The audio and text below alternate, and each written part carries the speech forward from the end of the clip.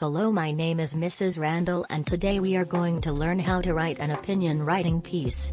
Before we get started, we need to know what an opinion is. An opinion is what you think about something. It is your own personal feeling, belief, or view about a topic. Everyone has opinions on lots of different topics. For example, Maya feels that ice cream is the best dessert. Gabriella's opinion is that reading is better than watching television. Travis's opinion is that soccer is the best sport. Now that you know what an opinion is, let's discuss opinion writing and the steps to take to write a good opinion writing piece. To put it simply, opinion writing is a formal piece of writing that requires your opinion on a topic. When writing an opinion piece, the author states their opinion on a topic and provides reasons to support their opinion. For example, I love summer because I can go to the beach, drink fresh coconut juice, and relax in the sun. When I stated my opinion about summer, I provided reasons to support my opinion. When writing an opinion piece, we use a strategy that is known as the OREO method. In the acronym OREO, the O means state your opinion. Tell your readers how you feel about something.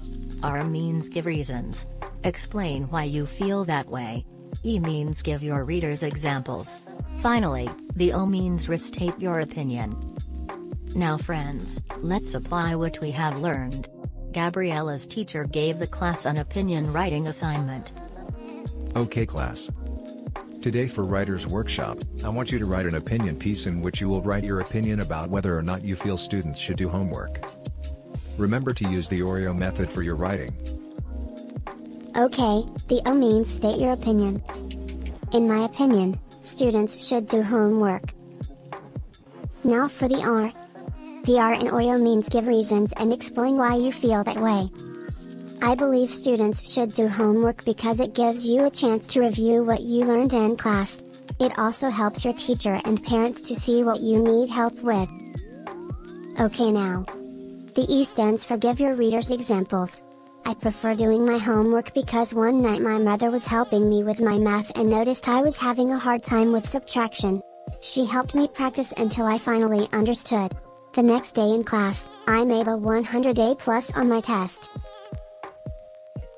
Finally, the O stands for restate your opinion. I know students should do homework because it helped me do better in math. Everyone should do their homework. Now, let me put it all together. In my opinion, students should do homework. I believe students should do homework because it gives you a chance to review what you learned in class. It also helps your teacher and parents to see what you need help with.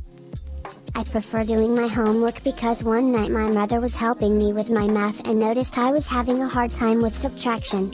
She helped me practice until I finally understood. The next day in class, I made a 100 A plus on my test. I know students should do homework because it helped me do better in math. Everyone should do their homework. Gabriella waited anxiously as her teacher graded her writing piece. Gabriella. You did an amazing job on your opinion writing piece. You followed all of the steps in the OREO method. You stated your opinion, you gave reasons why you feel students should do homework, you gave examples of how doing homework helped you, and in the end, you restated your opinion and encouraged other students to do their homework as well. You made an A+. plus. Awesome job Gabriella. Goodbye friends. Today you learned how to write an opinion writing piece. I hope to see you again soon. Please like this video and subscribe to my channel for more instructional videos and remember to keep learning and growing.